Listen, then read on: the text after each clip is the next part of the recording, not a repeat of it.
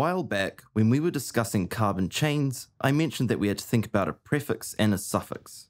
Hopefully, you're now a prefix expert, but it's time we gave a little bit of attention to the second part of the name. Now, throughout your journey, you may have noticed that not all organic compounds are simply made up of carbons and hydrogens. In fact, hydrogens contribute very little to the properties of a compound.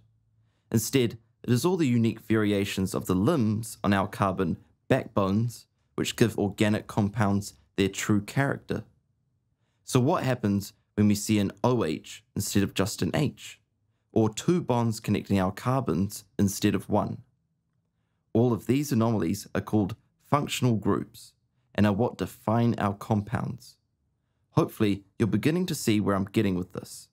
While the number of carbons gives the prefix to the compound names, it is the functional group which gives the suffix. A group of compounds that all have the same functional group is called a homologous series. For example, alcohols are a homologous series. They all have the same functional group, and the difference between different alcohols is the length of the carbon chain. This will become clearer as we work through naming some different homologous groups. To start off with, though, we'll look at a group called alkanes, which are the simplest of the organic compounds. An alkane is just a chain of carbon atoms covalently linked together, and since each carbon needs its four bonds, bonds that aren't attached to another carbon get attached to a hydrogen. The simplest alkane has only one carbon, and we call it methane. The prefix meth corresponds to the number 1, and the suffix ane corresponds to the type of organic compound. Methane for alkane, see? The next alkane is called ethane, with two carbons in its carbon chain. Can you predict what this will look like? The prefix eth corresponds to 2, Remembering the prefixes is super helpful when it comes to naming and drawing molecules. Sounds simple enough? Unfortunately, even alkanes can get a little more complicated than we bargained for. Remember when we talked about the carbon chain branching off in different directions? We need to not only recognize this, but account for it in the name of our compound. A branched carbon group containing one carbon is called a methyl group, and a branched group containing two is called an ethyl group. Notice the pattern?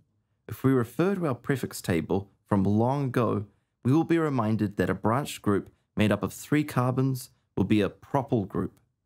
So anytime we come across a carbon coming off another carbon that's not part of the primary chain, we need to give its name and location in the compound name. And to make things even simpler, we put this at the start. So an alkane, compound with a primary chain of six carbons and an additional carbon group on the second carbon in is called 2-methylhexane. If there were two methyl groups coming off the second carbon, it would be called 2,2-dimethylhexane. Dimethyl as in there are two groups, and 2,2 to show that both methyl groups are attached to the second carbon of the primary chain. This way of numbering is the same for all functional groups. Some compounds look a lot like alkanes, but have a carbon double bonded to another carbon, which we call alkenes. The double bond is the functional group. You can probably guess how these will be named by now. One with five carbons and the double bond between carbons 2 and 3, like this, will be called pentene. Pent, since there are five carbons, and ene, since there's a double bond, so it's an alkene.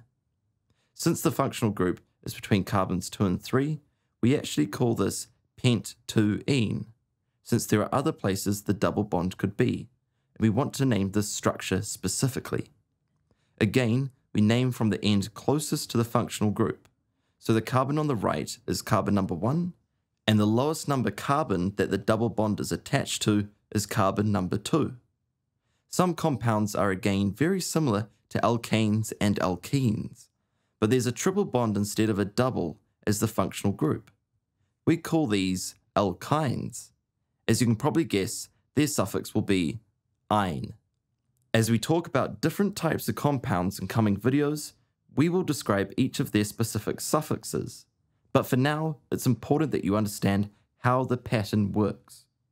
To summarize, the general rule for naming an organic compound is first, count the carbons in the chain and work out your prefix.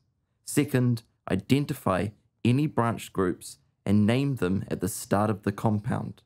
And third, identify any functional groups and choose the suffix to fit.